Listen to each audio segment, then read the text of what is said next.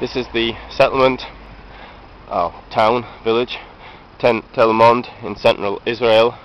It was founded by the British industrialist and philanthropist Alfred Mond in the 1920s.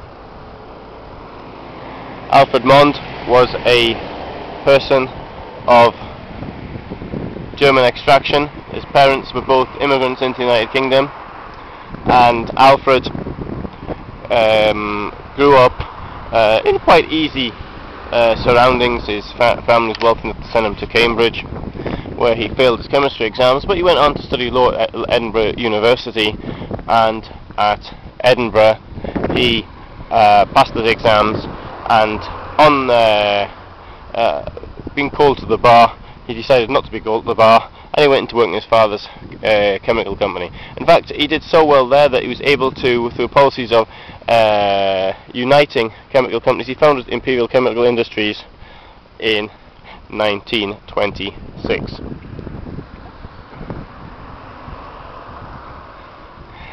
He was a philanthropist, he gave money to things like the Royal Chelsea Hospital and others.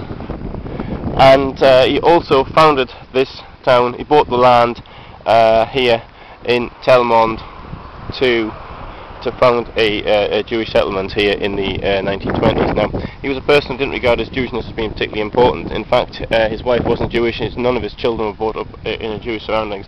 But he seems to have gone through some kind of um, realization about the time of the First World War, either just before or just after it, as to what the, the, the level of racism that existed within the Russian Empire. So much so that he chose to actually put money into this. He became quite a, a convinced Zionist as a, as, as, as a result of this. Now, with this uh, uh, conversion of his, he gave money to uh, to this uh, to the settlement. Also, he, uh, being an astute businessman, he founded a um, citrus company and um, was no doubt uh, he got some of his money back that way uh, from doing it. The statue here, which is meant to be, I don't know, of him, carved in 1934, uh, a time when Jewish immigration to Palestine had restarted. Immigration in the late 1920s had uh, become negative. There was more people leaving than there were coming here.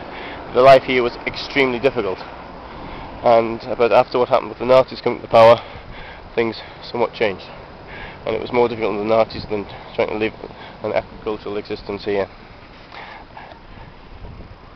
Alfred Mond died in 1930 at the age of 62 and there is in here in Tel Mond there is a little uh, house uh, which uh, has a museum of his life.